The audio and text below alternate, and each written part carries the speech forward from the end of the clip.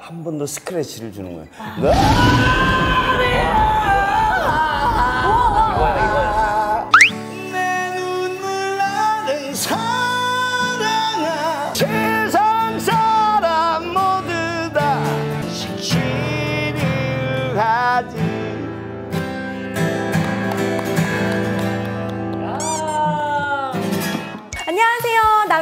윤태진입니다. 반갑습니다.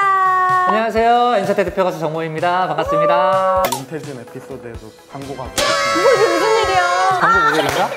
영상 PPL 영상 이건가요? 네. 세상에. 아, 그래서 앞에 뭔가 이렇게 더 있었구나. 아, 이게 태진이 때문에 여기 온 거예요? 네. 아, 감사합니다. 난 또 나 때문인 줄 알았지.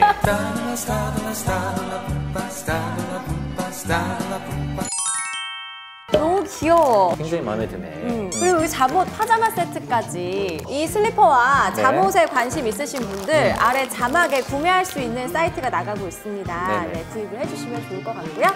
저도 예쁘게 입겠습니다. 저도요.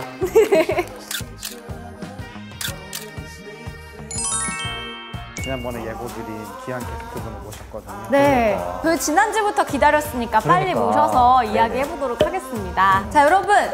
권이나 선생님과 함께 합니다. 아유, 와, 세상에, 세상에. 아. 아, 저는 원래 유튜브 채널도 종종 보고 있고 네. 되게 반가워요. 아까 그래서 오자마자 제가 어머 선생님 안녕하세요. 유튜브 너무 잘 보세요 인사를 했었는데 인사를 부탁드립니다. 안녕하세요 가수 권인갑니다 이랜드 뮤지엄에 네. 초대해 주셔서 고맙습니다 아, 아. 고맙습니다. 저 또한 어렸을 때부터 너무 좋아했었고 음. 아직도 제가 정말 또렷하, 또렷이 기억나는 게 1990년도 제가 6살이었던 시절입니다. 또렷이 기억나나요? 또렷이 기억나요. 6살 네. 가요톱텐에서 권인하 선생님이랑 강윤원 선생님, 김영식 선배님 이제 같이 비 오는 날의 수채화를 부르는 모습에 제가 어렸을 때 그 노래가 너무 좋은 거야. 그래서 막 그 노래를 계속 흥얼흥얼 거리고 막 이렇게 부르고 다니다가 영화가 있다라는 것도 이제 알게 된 거죠. 아, 아유 어렸을 땐 정말 너무 명곡이고 아 이렇게 뵙게 되니까 자연스럽게 두 손이 계속 모아지게 되는 아 네. 고맙습니다 아예 아닙니다. 네, 아닙니다.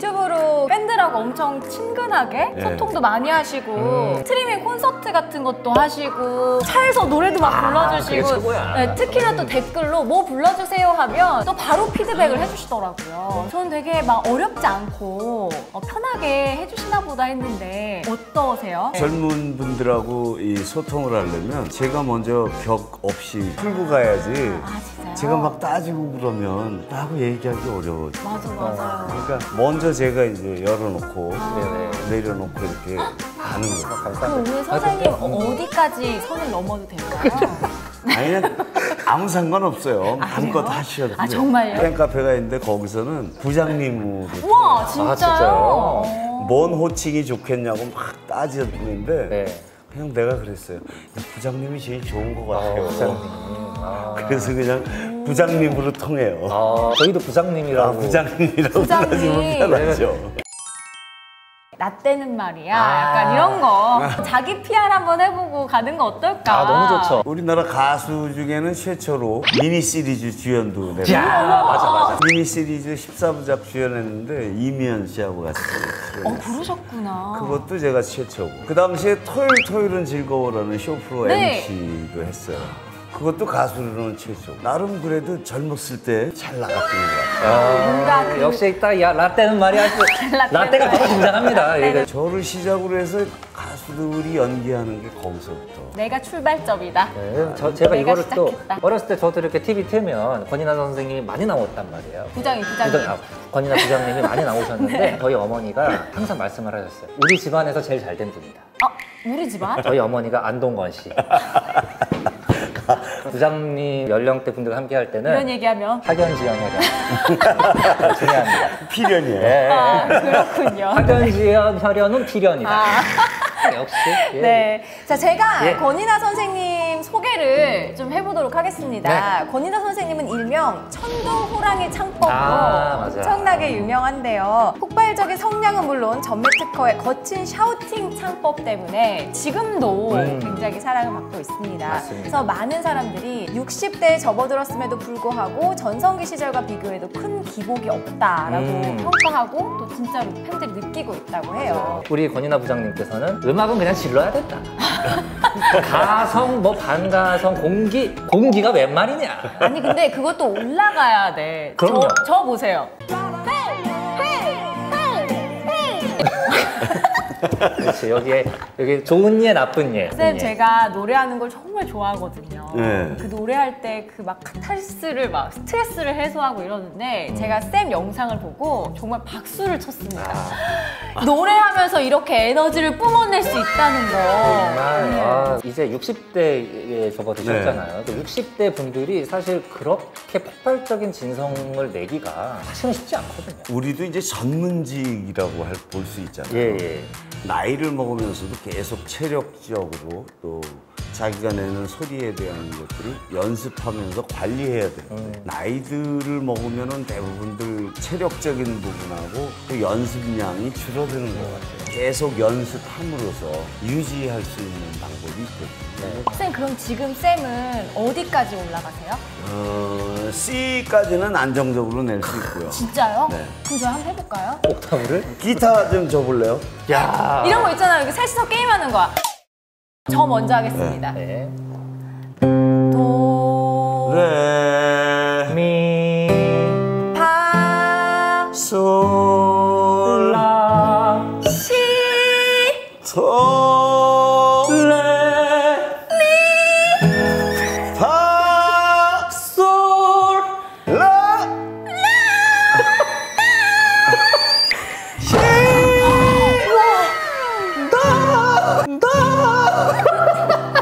거야? 된 거야? 된 거야?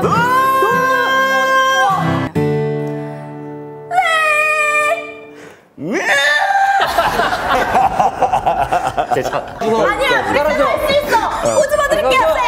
할수 있어. 땡겨드릴게요.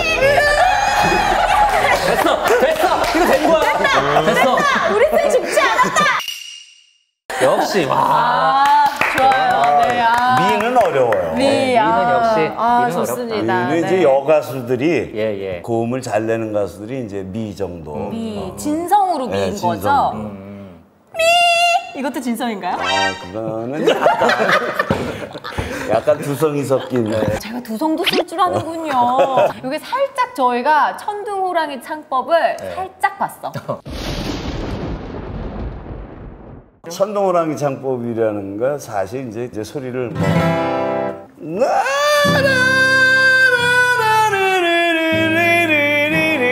뭐 이렇게 내는데 그걸 조금 더 네. 요 앞쪽에서 네네. 한번 더 스크래치를 주는 거예요. 이거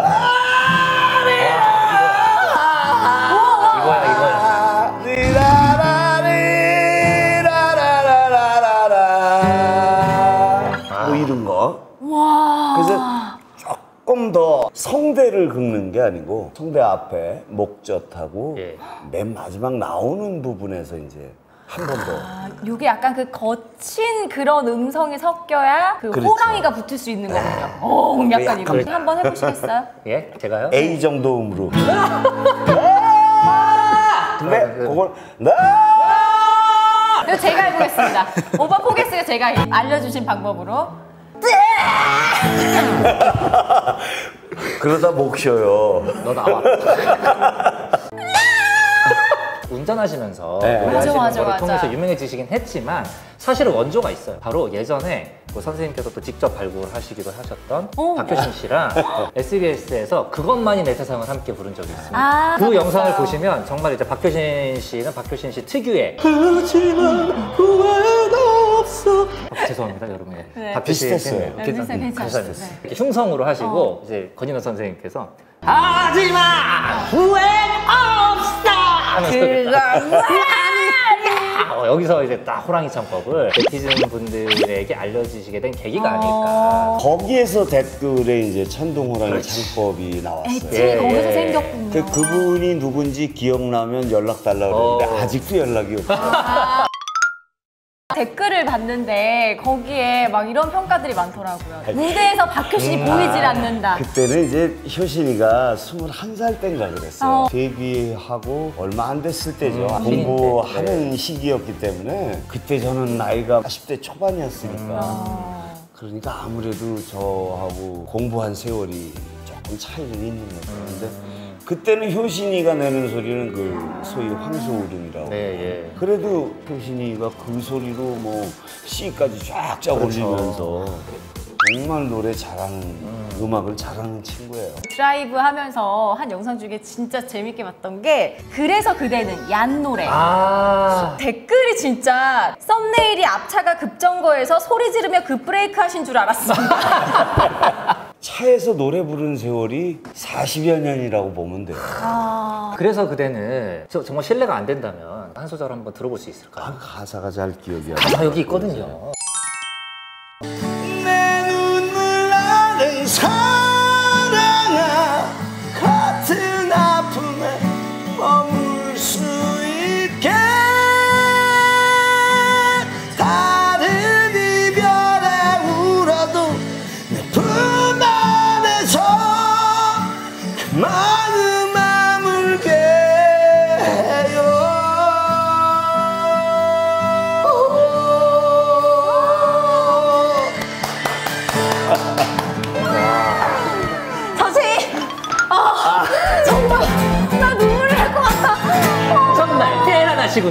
진짜 최고다. 아, 정말. 와, 아유, 갑작스럽게 부탁드렸는데도. 그러니까요. 네. 아 이게 잘 생각이 안 날 것 같아 갖고 네네. 틀고 온 거예요. 와, 아, 그래도. 와, 구독자가 27만 명 정도, 아. 27만 명 넘네요. 27만 5천이었는데 요즘 또 올랐네. 업로드 한 3조 안 했더니 1000명 빠진다. 아, 진짜? 돌아와. 네. 배신이야, 너희들. 의리를 지키셔야죠. 우리, 우리. 예. 그래요. 유튜브 하는 거 어떠세요? 재밌으세요? 일단 어려워요. 어, 요즘 친구들 노래를 부른다는 게 가사 패턴이나 또 멜로디 패턴들이 우리 시대하고는 좀 달라요. 아. 그래서 그 노래들을 익히는 게 처음에는 굉장히 어려웠는데 음. 요즘엔 조금 익숙해져 가지고 어. 이틀 정도면 되더라고요. 아.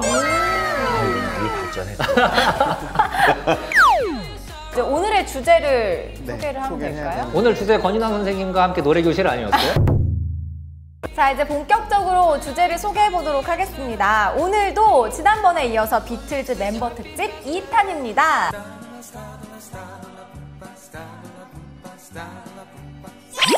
요즘 또 장마철이거든요. 그런 의미로 추억을 한번 되살려보는 시간을 부탁을 드려보고 싶은데 비 오는 날의 스테- 수채화 빗방울 떨어지는 식으로 그 거리에 서서 그대 숨소리 살아있는 듯 느껴지면 깨끗한 부타 나를 숨기듯 지니고 나와 거리에 투명하게 색칠을 하지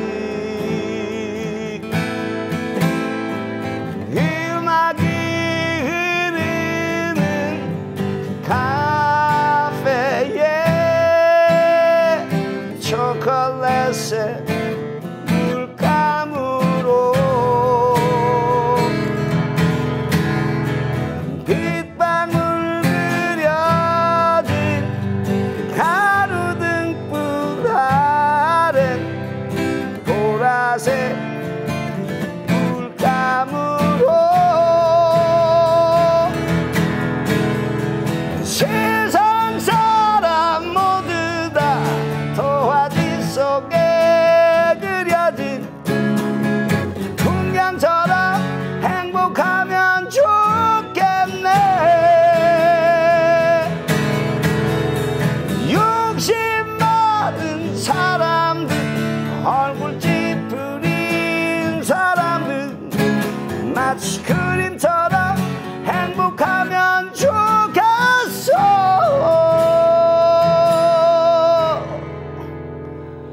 빗방울 떨어지는 그 거리에 서서 그대 숨소리 살아있는 듯 느껴지면 깨끗한 부탄나를 숨기듯 지내고 나와 거리에 투명하게 she knew how to.